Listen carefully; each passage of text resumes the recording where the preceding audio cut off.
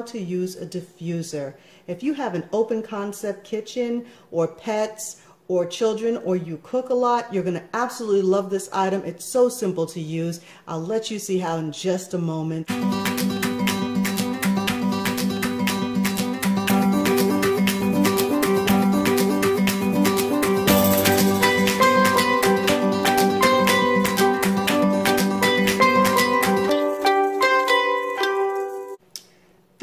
Diffuser. This is a very simple diffuser. Um, I got it at Walmart. It's not super pricey. It was my very first diffuser and it's worked so well. Um, I just haven't found any reason to get anything that was different. And the nice thing is that you get to select the scent that you want.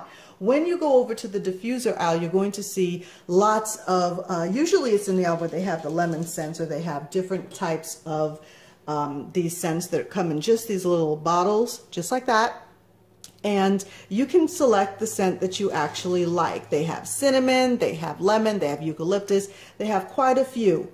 What I have found that has personally worked for me that gets eliminates odors like cooking odors out of the kitchen is lemon. That's the one that's worked for me. Now during the holidays I may try something like a cinnamon spice just to add kind of an atmospheric change. But for me, lemon has worked really well on a day-to-day -day basis and it's so simple to use. You're going to wonder why you didn't do it sooner. Okay, let's get into the actual diffuser. The actual diffuser comes in two parts. It looks like one unit just like this, but it actually comes in two parts. Um, my advice to you is usually it comes with the cord separate and underneath the diffuser, just at the bottom, I can't flip it over because I've already got some uh, liquid in it, it attaches underneath. And my advice is attach that cord, um, you know, when you are ready to use your diffuser. It makes it a lot easier to move it around. And what I did was what you do is you just lift the top off and this one happens to be glass so just a little bit careful with it and inside you're going to see this little housing and it has a level for the liquid be very mindful of this particular level when it says don't go over that line um, just stay within those marks and you're going to be just fine. The lid comes off pretty easily, just like that. And inside, as you can see, I already have some water in there. And when you fill it to its actual fill line or just a tiny bit beneath, what I do is I take about five or six drops of my lemon oil, drip it straight into the actual diffuser, and which is really, really simple. It actually drips out just like a, kind of like a drip bottle. See? And just give it a shake, a couple of drops. You'll actually figure out how many drops work for you as you use your lemon oil. Sometimes you may want it a little bit stronger. Sometimes you may want it a little bit lighter. The nice thing is that with your scent, you can actually gauge how strong you want your scent to come through. Now, you take the top, just stick it back on. It lines up a certain way, so there's only one way that it goes on. And with this particular diffuser, you just put it back on. I make sure that that top little nozzle thing is lined up within the hole and give it a press. And what I like about this one is that it actually lights up and it changes colors as you can see. The colors actually change and you can press the button again and lock it on a color that you really like and this just happens to be a color that I really like so haha I locked it on that. Um, advice, if it's tipped or bumped, it will automatically shut itself off. So that's the really nice thing also if you have kids that may run around. My advice is that you put it on right after you have finished cooking.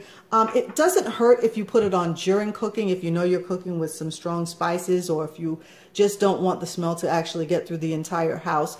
But I've only really found the need to put it on after I've cooked because while I'm cooking, I tend to, I, I, like to know what's going on in the pot and, and you can smell things a lot better and it's just one less thing going on in the air.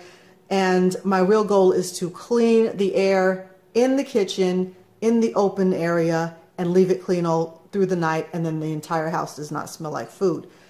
I was absolutely shocked. I have made fish and put this on afterwards. I have cooked um, things with strong spices and put this on afterwards. I just let it run for maybe a half an hour, sometimes a little bit longer if I feel the need. and then I kid you not, you will smell absolutely nothing. The house, the air will smell clean. I've actually tested it out and, and just left the house and walked back in the door to see if I smelled anything and you could not even tell that I was cooking. So that makes a huge, huge, huge difference. Now I click the button for the light and I click the first button, which is that one, and that starts the actual steam for the diffuser. And it just does this for 30 minutes, 20 minutes, and in your mind you're thinking, okay, well, how is that going to work? But I can tell you just standing here, I can smell the lemon already that's coming through. And I just let it go and it just goes and it's kind of those set it and forget it kind of a thing. And, you know, if you just want to push it through the house, I have a little ceiling fan that I have and sometimes I'll put that on, but you really don't even need to. It will do exactly what it's supposed to do. It will eliminate the odors from the house, leave your kitchen and your open concept area smelling really fresh as if you didn't even cook. I think it's a great idea to put this on if you know you're going to have company and you just want them to walk in and just kind of have that fresh scent or whatever kind of a scent that you want to have in there. If it's the holidays, you may want to put something in that's a little bit cinnamony and spicish that's fine, but put it on. It's a great atmospheric thing. And then on top of that, because this one just kind of changes colors, it's just kind of fun to just see it just sit there and just go. It'll just change colors over and over again. And it's really cool. It was maybe about $30 in Walmart, uh, 28, I think 30 after tax. It was very inexpensive, but it works really well. That's it, guys. Thank you so much for joining me. Um, if you have any questions or comments, feel free to leave them in the comment box. I'll try to get back to everyone as quickly as possible. But thank you again for joining me. Remember, God bless you. He loves an orderly house. And I pray that everything within your home is just going wonderful for you.